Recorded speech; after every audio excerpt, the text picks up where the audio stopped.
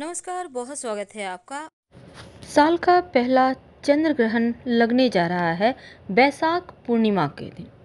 बैसाख पूर्णिमा जिसे हम बुद्ध पूर्णिमा भी कहते हैं इस दिन लगने वाला चंद्र ग्रहण उपछाया चंद्र ग्रहण होगा और ये भारत में दिखाई नहीं देगा। क्योंकि दिखाई नहीं देगा भारत में तो सूतक काल भी मान्य भारत में नहीं होगा और साथ ही इस दिन महाप्रयोग तुलसी के किए जाते हैं। बैसाख पूर्णिमा का हमारे धर्म में बहुत महत्व है। इसी दिन भगवान बुद्ध का जन्म भी हुआ है और भगवान बुद्ध भगवान श्री हरि विष्णु के अवतार माने जाते हैं। इस दिन पवित्र नदी सरोवर में नहाने का विधान है।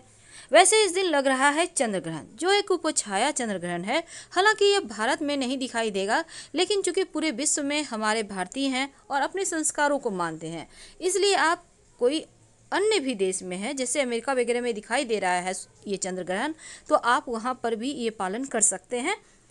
तो देखिए, पवित्र नदी सरोवर में नहाने का विधान है। ऐसे में आप, पवित्र और मुश्किल है। तो ऐसे में आप एक छोटा सा काम करें। अपने घर में नहाने के पानी में थोड़ा सा गंगा जल डालकर नहाएँ। अगर गंगा जल ना हो तो तुलसी के पत्ते डालकर नहाएँ। वो भी नहीं है तो कुछ घास डालकर नहाएँ। इससे आपको गंगा स्नान का पुण्यफल प्राप्त होगा।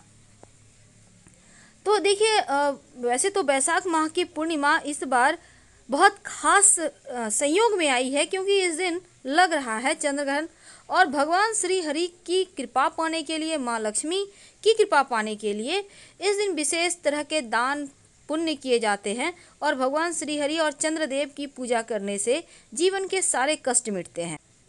अब देखिए, भगवान जब आप पूजा पाठ करने के लिए रेडी सेडी हो जाएँ, यानी स्नान वगैरह कर लें, तब भगवान श्री हरि के सामने एक दिया जलाइए। अब श्री हरि को पीले पुष्प, पीले फल, पंचामृत अर्पित करें और हल्दी से उनको तिलक करें। इसके बाद खुद भी अपने आप को तिलक करें। घर के मुख्य दरवाजे पर हल्दी और चावल के घोल से एक स्वस्तिक बनाएँ। अगर आप हल्दी बाहर की तरफ़ से आपको बनाना है, अगर हल्दी चावल से नहीं बना रहे हैं तो सिंदूर से भी बना सकते हैं। घर के मुख्य दरवाजे के बाहर बनाना है। फिर आप माँ लक्ष्मी जी की भी पूजा करना है। उन्हें भी आप पुष्प, फल, नैवेद्य अर्पित करें। अब जब आप श्री हरि को भोग लगाइएगा तो तुलसी का पत्ता ज़रूर डालिएगा, क्योंकि बिना तुलसी का वो भोग स्वीकार नहीं करते। और साथ ही भगवान श्री हरि की जब पूजा कीजिएगा तो इस दिन जो कसार होता है, जिसको कहते हैं सूखा भोग, सूखा प्रसाद, यानी आटे या सूजी को भून कर बनाया जाता है।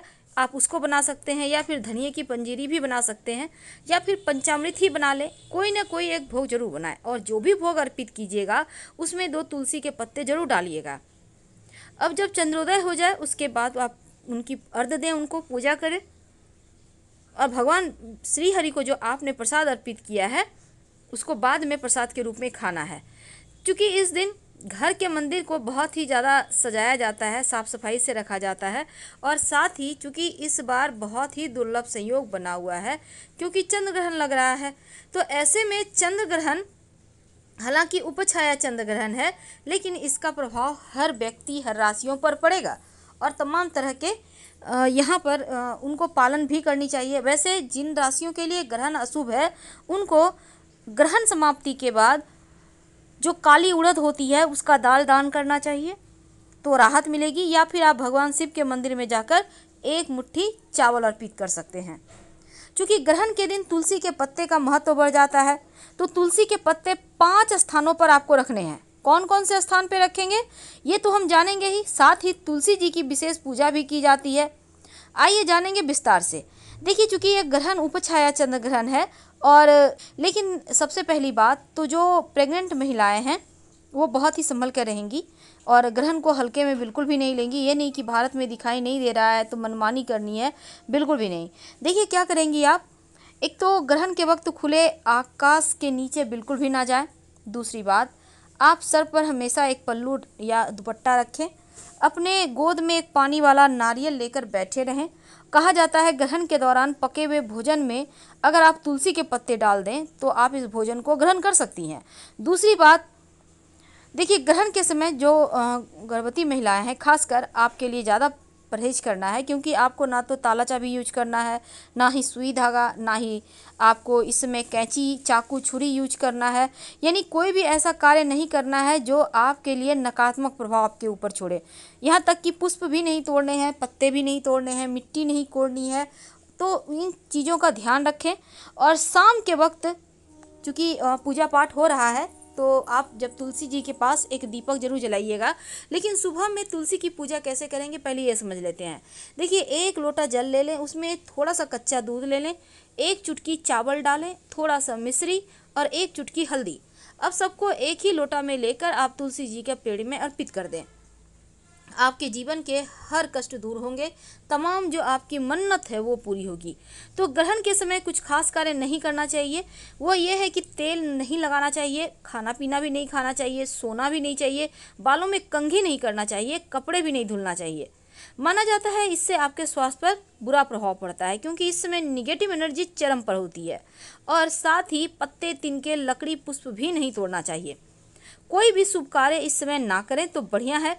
स्कंद पुराण कहता है कि ग्रहण के समय दूसरे का अन्न नहीं खाना चाहिए। नहीं तो इसके परिणाम आपको बारह वर्षों के एकत्र किए हुए पुण्य आपके नष्ट हो जाते हैं। तो ग्रहण के दौरान इन बातों का ध्यान रखें और ग्रहण तो देखने की गलती गर्भवती महिलाएँ भूल कर भी ना करें।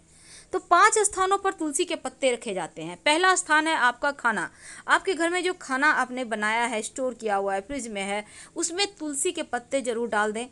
दूसरा स्थान है नहाने का पानी। आप चाहें तो आप टंकी में भी डाल सकते हैं। तुलसी का पत्ता किसी कपड़े में, हरे रंग के कपड़े में बाँध कर कोई धागा के सहारे आप उसको डुबो दें और इसी पानी से स्नान करें। और तीसरा है आपके घर में दूध, दही, मिठाई, पनीर, बहुत सारी चीज़ें होती हैं घर में। तो हर एक चीज़ में एक एक पत्ता तुलसी का डाल दें। इससे ग्रहण के समय होने वाले नकारात्मक प्रभावों से आपका भोजन सुरक्षित रहेगा। इसके साथ ही आपको तुलसी का पत्ता नहाने के पानी में, पीने का पानी में, खाना में, मिठाई में और साथ ही साथ पीने के पानी में आप, जैसे आपके घर में स्टोर किया हुआ बॉटल वगैरह में पानी है ना एक एक पत्ता अच्छे से धोकर डाल दें, कोई दिक्कत नहीं, इसको पी सकते हैं आप। और रात में सोने के पहले तकिए के नीचे तुलसी का पत्ता रख कर सोएँ, अगले दिन मिट्टी में उठाकर दबा दीजिएगा। जितने भी तुलसी के पत्ते हैं, आप उसको मिट्टी में दबा दीजिए या साफ़ जगह पर रख दीजिए। तो इस तरह से आप तुलसी का पत्ता का प्रयोग करके विशेष लाभ प्राप्त कर सकते हैं। ग्रहण के वक्त ये बहुत ज़रूरी है। अब आते हैं हम थोड़ा और आगे। क्योंकि इस बार का ग्रहण उपछाया चंद्र ग्रहण है और इसका प्रभाव व्यक्ति विशेष राशियों पर पड़ेगा ही पड़ेगा। तो तमाम राशियों में मेष, वृषभ, सिंह, कन्या और मकर राशि। ये पाँच राशि थोड़ी लकी हैं, जिनके ऊपर ग्रहण का दुष्प्रभाव कम पड़ रहा है और आपको परेशानी की कोई दिक्कत नहीं है। लेकिन बाकी की जो राशियाँ हैं, इनको ग्रहण का थोड़ा सा निगेटिव प्रभाव है। तो ऐसे में अगले पंद्रह दिन तक इसका प्रभाव रहेगा बचने के लिए। ग्रहण समाप्त होने के बाद, वैसे तो सबको नहाना है, लेकिन खासकर आपको, देखिए आप उड़द की दाल दान करें। तो उत्तम रहेगा। हम आपसे विदा लेते हैं। जानकारी अच्छी लगे तब लाइक कर सब्सक्राइब करें, अपनों से शेयर करें कमेंट करें। हर हर महादेव, धन्यवाद।